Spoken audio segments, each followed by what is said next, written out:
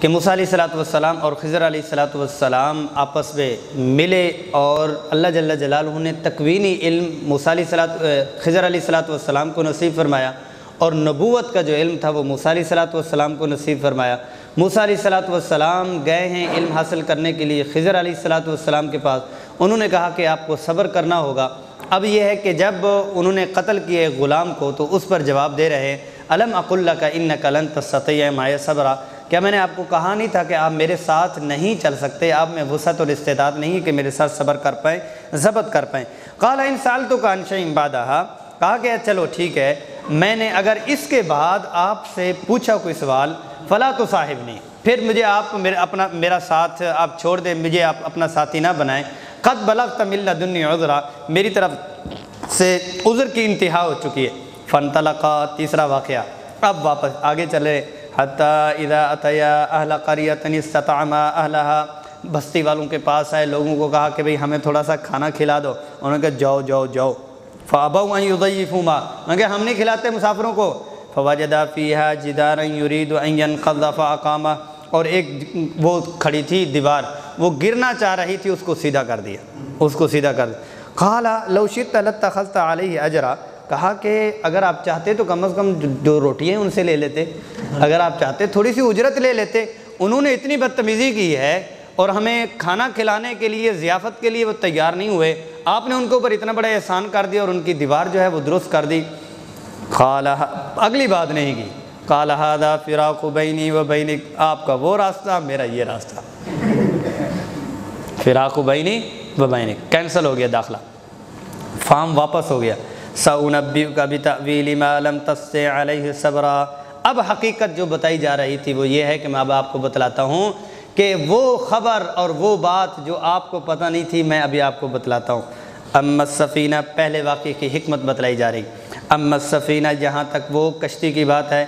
فقانت لمساکین لمساکین، وہ مزدور لوگ تھے، ان کی تھی۔ یا ملون فی البحر، وہ مزدوری کیا کرتے تھے سمندر میں۔ فارت تو انعیبہ اور میں نے چاہا کہ اس میں میں عیب ڈال دوں۔ یہ دس بھائی تھے، پانچ اپاہج تھے۔ اور پانچ لوگ کشتیاں چلاتے تھے، کشتی چلا کے کماتے تھے، بھائیوں کو بھی کھلاتے تھے۔ مجھے پتا تھا کہ یہ غریب لوگ ہیں۔ اور اس کے بعد، دریا کے بعد بادشاہ تھا۔ وہ نئی نئی گاڑیاں اور نئی نئی کشتیاں لے لیتا تھا۔ میں نے عائبدار ٹوٹی ہوئی گاڑی کو کوئی بھی وہ نہیں، حکومتیں بھی نہیں پکڑتی۔ یہ ٹوٹی ہوئی کشتی ہے۔ میں نے عیب کر دیا۔ تاکہ ان کا روزی کا سلسلہ جو ہے وہ چلتا رہے۔ بادشاہ دیکھے تو کہو کہ ہم نے اپنی رعیہ کو اس میں ڈبونا تھوڑی ہے، اس لیے میں نے وہاں پر کیا تھا ایسا۔ مالک مالک یا خود کل صفینت غصبہ۔ وہ امل غلام جہاں تک وہ بچے کی بات ہے جس کو میں نے قتل کیا تھا فقانہ اب وہ مؤمنین۔ ان کے جو والدین تھے، باپ دادا، وہ بڑے ایماندار تھے۔ فغشینہ یورحقوما طغیان و کفرا۔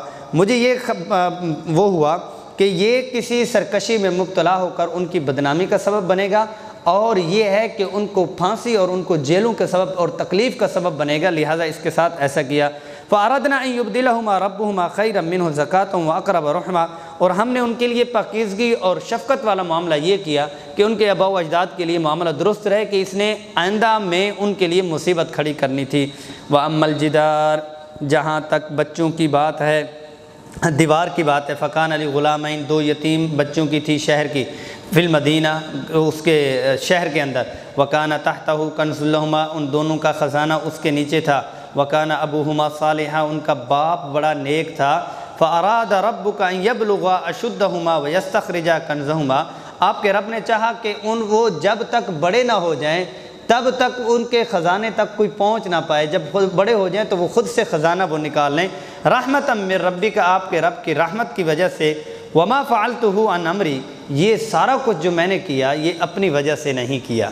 ذالک تعویل ما لم تستع علیہ صبرا، یہ وہ علوم ہے جس کے اوپر آپ نے صبر نہیں کیا تھا۔ اب یہ ہے کہ یہاں پر آپ صلی اللہ علیہ وسلم نے فرمایا کہ موسیٰ علیہ السلاۃ والسلام اگر صبر کر کے چلتے رہتے اور بڑی حکمت کی چیزیں جو ہیں ہمیں ملنی تھی، ورنہ تین حکمت کی چیزیں ملی ہیں کہ بہت ساری چیزیں ایسی ہوتی ہیں۔ آپ صلی اللہ علیہ وسلم کے اصحاب نے بھی یہ سکھایا کہ علماء اور اہل علم اور اہل تقوی جو لوگ ہیں، اگر ان کی کوئی بات سمجھ نہ بھی آئے تو عقیقت، عقیدت کی بنیاد پر بھی مان لینی چاہیے۔ جہاں جن لوگوں نے یہ نعرہ لگایا ہے تحقیق کا انہوں نے تحقیق تو ہم بھی چاہتے ہیں اور کرتے بھی ہیں، ہماری کوئی کتاب، کوئی بات بغیر تحقیق کے نہیں ہے۔ لیکن تحقیق جو بدتمیزی سکھلائی جا رہی ہے، وہ تحقیق نہیں ہے۔ تحقیق تمیز اور اداب کے مد نظر تو ہے۔ بزرگوں کو اچھالا جانا، اس کو تحقیق، بدتمیزی کو تحقیق کہنا کوئی تحقیق نہیں ہے۔ تمیز کے ساتھ ہے، صحابہ کرام واللہ عالم بمرادی یہ ایک طریقہ بتلایا جا رہا ہے۔ جی کون جانتا ہے سب سے بڑی اچھی آیت، سب سے افضل آیت کون ہے؟ صحابہ کو پتہ ہوتا پھر ہی کہتے اللہ عالم بمراد ہی تاکہ اور علم آئے۔